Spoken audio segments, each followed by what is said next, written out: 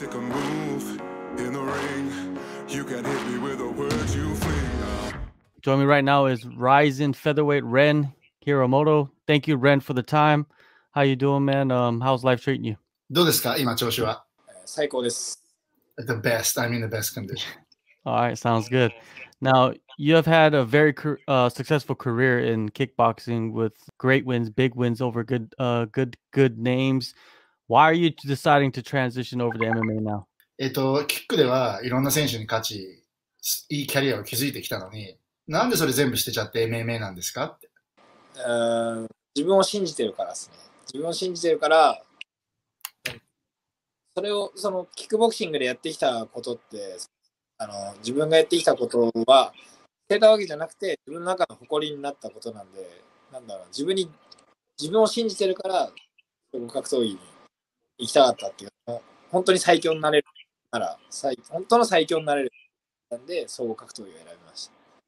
Well, to answer your question, I decided to go MMA because I believe in myself.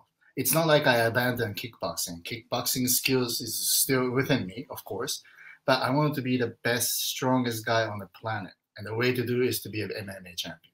All right. What are, other than you know trying to be the best that you can be, what what else attracted you to MMA? Is it the is it the the names out there that you want to fight?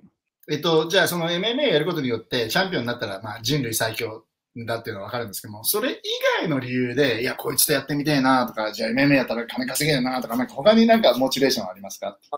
最近作業っていうその自分の拳日本の格闘技日本でやってたらその日本日本でずっと格闘技やってたらまあ例えば K1 キックボそうなんですけどその拳でなかなかその大きな大金を稼ぐっていうのはすごく難しいっていうかほぼ無理な日本では無理だなと思っててでそれをどう拳でこう金を稼ぐのかって考えた時に要はやっぱアメリカに行って UFC でそのチャンピオンになることが全てにおいてその夢も叶うし大金も稼げるし自分の人生はこれしかないと思って決心がすぐつきました。Well, here's what it is. I wanted to make living with my own fist, meaning to fight. But in Japan, it's actually very difficult to do so. Even though you're fighting K1 or big, you know, it's difficult. So I realized I want to earn big money. Then what do I do? Be a UFC champion. If you became a UFC champion, I earn big money and I'd be the best man on the planet. I'll achieve my dream. So I thought that would be the perfect.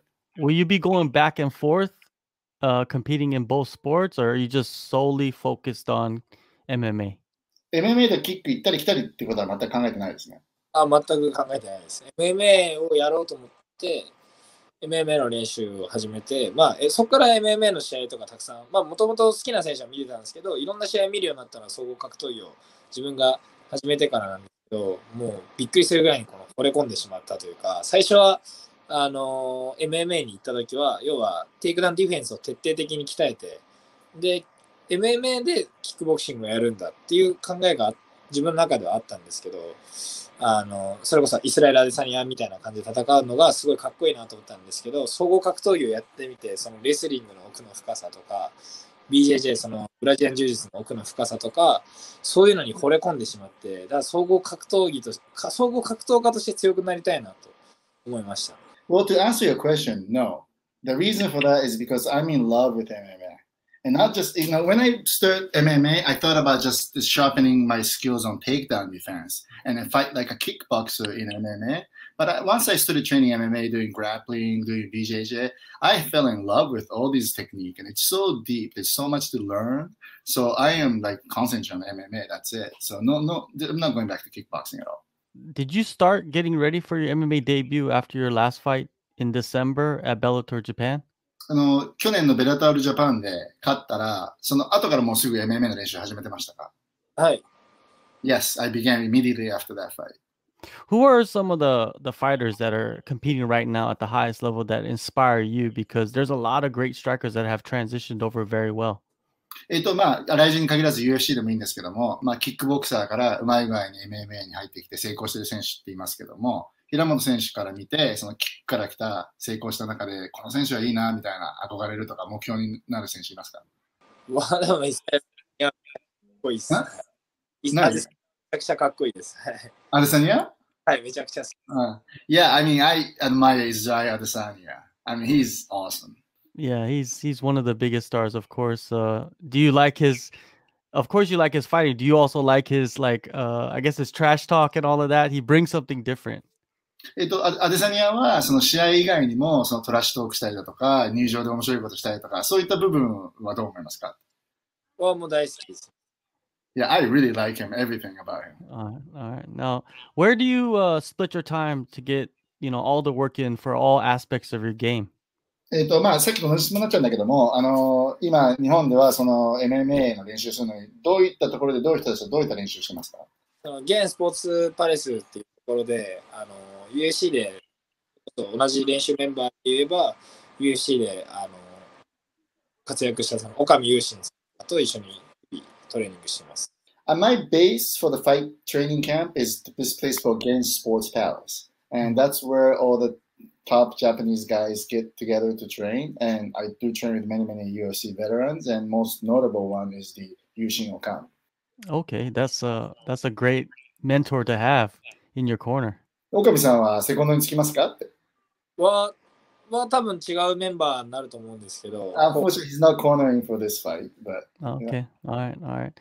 So you know when you go into training and you have to train all the aspects and and in MMA sparring, it can be very difficult, right? Have you have you had some rough days? どうですかね？やっぱり MMA やると、やっぱりそういった岡見さんとか、そういったベテランたちとやると、揉まれて厳しかったなと思う日もあると思うんだけど、でそう思った時ってなんか一一回であったら教えてくださいって。もう岡見さんと組んだ状態になると、本当、新米力士と横綱相撲みたいな、横綱をするみたいな、もう岩かと思いましたね、最初組んだ時に。Well, at the very first time when I grapple with the Yushin Okami, I feel like I'm like nervous doing the sumo against the Yokozuna.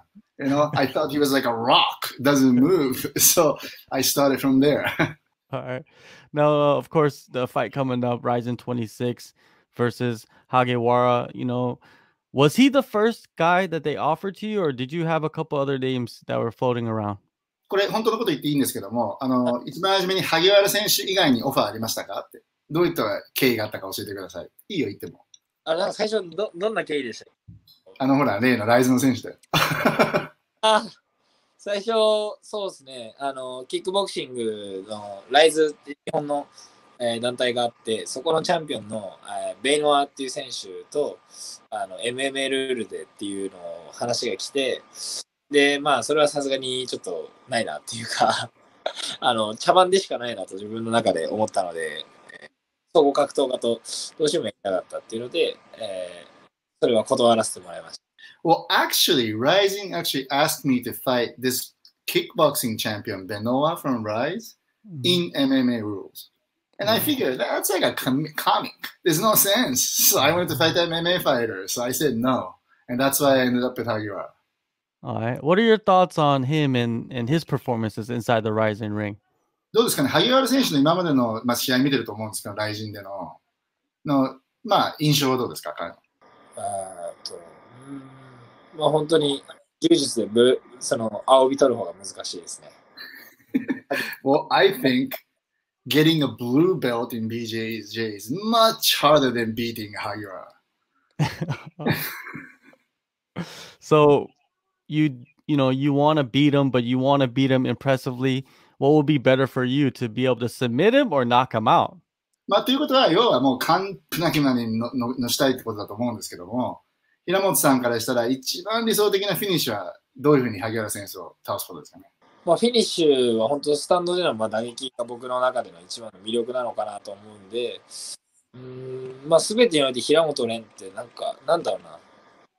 何で倒したいっていうよりかは僕のそのデビュー戦を見てもらってもらってあやっとなんだろうな世界に本当にこう勝負していけるような日本人が出てきたかもしれないっていうそのワクワクを持ってほしいですね。で終わった後に。You know, I'm telling this, it's not about how I finish. I'm going to win this fight anyway. So it's all about how fans will get excited about the real fighter who really can shoot for the world title finally has emerged into the scene. That's the kind of impression I want to leave to the fans. What is the plan for you? You know, you're only 22 years old. Most MMA fighters start at 22 years old, but they don't have that background you have in kickboxing. So, how do you see your career progressing? Do you see yourself maybe winning the title after like a year or two in Rising and then moving up? What is the plan for you? どうですかね？あの、多くのやっぱり MMA ファイターって、やっぱり平本さんみたいにそんな若い時からやってない人が多いんですよ。あで何なんだったら22とかね、大学終わってからやるのが多いのに比べて、平本さんは今の年齢で16からやってるから、ものすごく経験があるわけじゃないですか。はいで、これは他の選手に比べて有利だと思うんだけどそういうことに関してどう思ってるかっていうのと、来年の目標、どういったことをこう成し遂げたいか教えてください。その、なんだろう、要は試合に、試合をするっていうか、その、殺し合いその戦いの、その、なんていうんですかね、空気っていうのは、要は総合格闘技も、キックボクシングも、その、なんていうんですかね、メンタル的な、その、強さっていうか、精神力を使う部分では、全く試合の時は同じだと思ってて、そういう部分では僕はどちらかというと、まあ、割ともう長い歴史っていうか、その長い年数プロをやってきたんで、うん、そういう、なんていうんですかね、あの、大和魂、侍の、そのそういう強い気持ちっていう部分では、すごく自分の中であの大きな、えー長所なのではないかなとは。Well, you know, here's what it is. Even kickboxing or MMA, in terms of preparations on the mental level to, to, you know, to go into the fights, it's same, right? So that means is I've been pro since 16 years old, so I have a, a edge over that. And because I'm much more older now, I feel like I, I I'm more calm and I can, you know, try to go without getting nervous any of that, you know. で、次は来年はどういったことを、うん、来年はそのライジンをジャックしたいっていうか、もう自分がこう全て支配できるような、あの日本の団体をまず自分で支配して、で、なんだろうな、本当日本人と世界に行けるような、行けるっていうか世界で取れる日本人っていうのを自分なら絶対できると思ってるので、あの、駆け上がるだけ Well, next year I'm looking to conquer the entire Japanese featherweight division, and I I will convince all the fans that I'm the guy who's going to go take the world title. So I'm looking to hijack the entire Rising next year. All right, I'm looking forward to it. You know, I'm looking forward to your debut in MMA, December 31st, Ryzen 26, Saitama Super Arena. Very exciting stuff. Thank you, Ren, for the time and uh, enjoy the fight, man. It looks like you love fighting, and and I and I like to watch you fight. So もうもの let's すご do く it. 楽しみにしてますし、戦うのをすごい楽しみにしてるのが感じるんで、もうもう見るの楽しみにしてますからって。なんか、今まではこう試合の時、本当ナーバス、こう、なんていうんですかね、あのー、10代の頃っていうのは、その、絶対に負けられないとか、そういう自分をこう、どんどんどんどん試合に、 こう、追い詰めちゃう部分があったんですけど、なんか本当精神力がすごい、なんだろうな、成長したっていうか、あの、どんな困難でも本当に全て自分ならひっくり返せるっていう、その大きな自信っていうか、その精神力的に強いんで、だから僕が負けることは絶対にないと思うんで、楽しみになったら嬉しいです。Well, when I was fighting for K1, I pressured myself that I need to win this fight, so it got me nervous and stuff like that. But not anymore. I'm very calm, and I feel like those experiences helped me to make sure that I don't get nervous. So yeah, please look forward to my fight. The only thing you're gonna see is I'm just gonna win this fight. Take a move in the ring. You can hit me with a word you fling.